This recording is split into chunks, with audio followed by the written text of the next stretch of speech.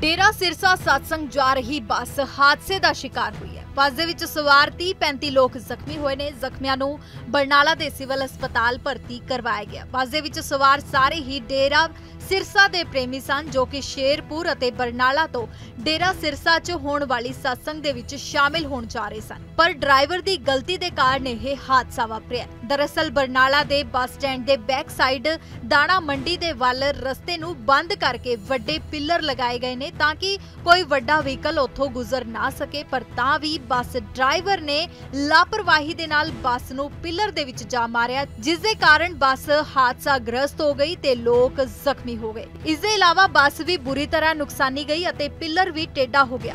ਦੱਸਣਾ ਬਣਦਾ ਹੈ ਕਿ ਮੌਕੇ ਤੇ ਬੱਸ ਡਰਾਈਵਰ ਆਪਣੀ ਬੱਸ ਨੂੰ ਲੈ ਕੇ ਫਰਾਰ ਹੋ ਗਿਆ। ਬਲਾਕ ਸ਼ੇਰਪੁਰ ਹੀ ਸਾਡਾ।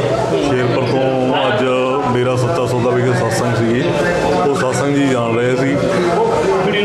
ਸ਼ੇਰ ਆਪਣੇ ਬਰਨਾਲੇ ਬੱਸ ਸਟੈਂਡ ਤੋਂ ਬੱਸ ਚੇਂਜ ਕੀਤੀ ਸੀ।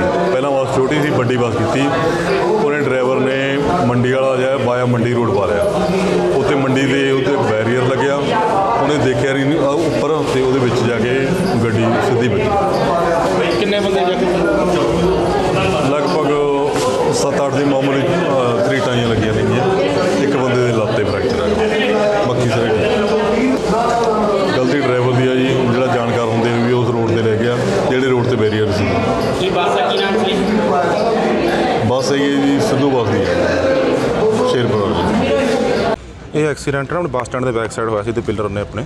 ਉਹਦੇ ਨਾਲ ਕੋਈ ਡੇਰਾ ਪ੍ਰੇਮੀ ਦੀ ਬੱਸ ਜਾ ਰਹੀ ਸੀ ਤੇ ਕਈ ਤਰ੍ਹਾਂ ਦੇ ਮਤਲਬ ਕਿ ਸ਼ੇਰਪੁਰ ਸਾਈਡ ਕਾਤੂਰ ਸਾਈਡ ਸਵਾਰੀਆਂ ਸੀ ਵਿੱਚ ਸੰਗਤਾਂ। ਉਹ ਪਿੱਲਰ ਟੱਕਰ ਕਾਰਨ ਐਕਸੀਡੈਂਟ ਹੋ ਜਿਹਦਾ ਆਪਣੇ 108 ਦੋ ਗੱਡੀਆਂ ਲੈ ਕੇ ਆਏ ਪੇਸ਼ੈਂਟਾਂ ਨੂੰ ਜੀ। 10 ਤੋਂ 15 ਇਹ ਪੇਸ਼ੈਂਟ ਆਪਾਂ ਲੈ ਕੇ ਆਏ ਬਾਕੀ ਸਾਡੀ ਦੂਜੀ ਹੰਡਾਲੇ ਗੱਡੀ ਲੈ ਕੇ ਆਈ ਜੀ ਪੰਜ ਤੋਂ 5 ਤੋਂ 7 ਪੇਸ਼ੈਂਟ ਜੀ। ਬਾਕੀ ਨਾਲ ਦੂਸਰੀ ਐਂਬੂਲੈਂਸ ਲੈ ਕੇ ਆਈ ਤਕਰੀਬਨ 20 25 ਬੰਦੇ ਨੀਅਰ ਅਬਾਊਟ 20 25 ਜਣੇ ਹੈਗੇ ਸੀ ਸੰਗਤਾਂ ਜੀ। ਕਾਫੀ ਜ਼ਿਆਦਾ ਜ਼ਖਮ ਕਿੰਨੇ ਹੋਏ? ਜ਼ਖਮੀ ਬਾਹਰ ਜ਼ਿਆਦਾ ਸੀਰੀਅਸ ਨੇ ਬਾਕੀ ਜੀ ਮੂਲੀ ਸੱਟਾਂ ਹੈਗੀਆਂ ਨਹੀਂ ਜੀ। ਕਿਹਦੀ ਗਲਤੀ ਲੱਗਦੀ ਹੈ ਤੁਹਾਨੂੰ? ਅਸੀਂ ਤਾਂ ਮੌਕੇ ਤੇ ਹੈ ਨਹੀਂ ਸੀ ਤਾਂ ਜੀ ਕਾਲ ਹੋ ਗਏ ਸਾਨੂੰ ਮੌਕੇ ਤੇ ਕੋਈ ਕਹਿ ਨਹੀਂ ਸਕਦੇ ਇਸ ਜਿਸ ਮੌਕੇ ਹਿਸਾਬ ਸਿਰ ਉੱਥੇ ਬੈਰੀਅਰ ਲੱਗਿਆ ਹੋਇਆ ਉਸ ਹਿਸਾਬ ਸਿਰ ਪਤਾ ਹਾਂ ਪਰ ਬੱਸਾਂ ਤਾਂ ਫਿਰ। ਗਲਤ ਤਾਂ ਜਾਣਾ ਜੀ ਉੱਥੇ ਤੋਂ ਬੈਰੀ ਬੱਸ ਹੀ ਲੰਘ ਰਹੀ ਜੀ ਫੋਨ ਆਇਆ ਸੀ? ਸਾਡੇ ਕੋਲ ਤਾਂ ਕਾਲ ਸੀਡੀ ਸੁਧਾਈ ਸੀ ਕਾਲ ਜੀ ਕੰਟਰੋਲ ਰੂਮ ਕੰਟਰੋਲ ਰੂਮ ਤਾਂ ਜੀਰਕਪੁਰ ਤੋਂ ਜੀ ਦਫ਼ਤਰ ਜੀ।